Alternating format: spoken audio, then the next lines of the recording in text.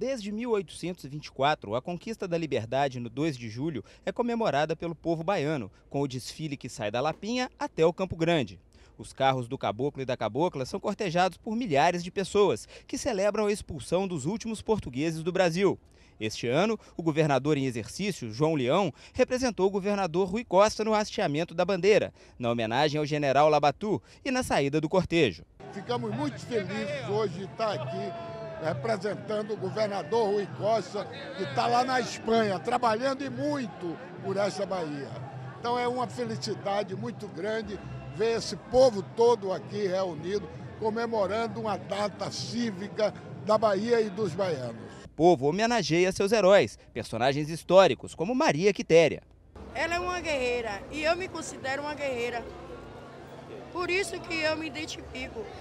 E só uso esse personagem, não tem outro.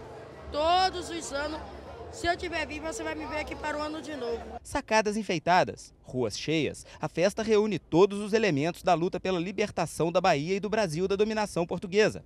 Os povos indígenas também estão representados. A história do país é revisitada. A gente tem que mostrar porque foi uma luta do povo, a conquista é do povo. Então, nada mais correto do que a gente vir representando as pessoas que lutaram, foram os índios, os escravos.